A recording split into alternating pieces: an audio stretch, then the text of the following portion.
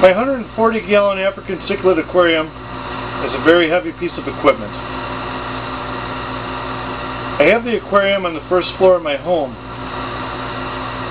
The aquarium weighs approximately 1,600 pounds, plus if you take into consideration having 10 to 15 guests over for a party, many of them will be standing around admiring your aquarium.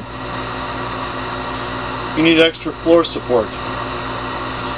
I installed two 2x10s on the header you see here with two steel support posts to accommodate for the extra weight on the floor.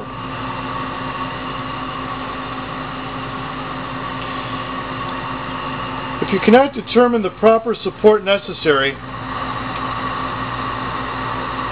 don't hesitate to consult an architect for professional advice. Remember to do it right the first time. Have a good work ethic and keep God number one in your life. Thank you for watching. Here is the finished side of my basement. As you can see this is the 2x10 header nicely wrapped in wood with an oak pole wrap.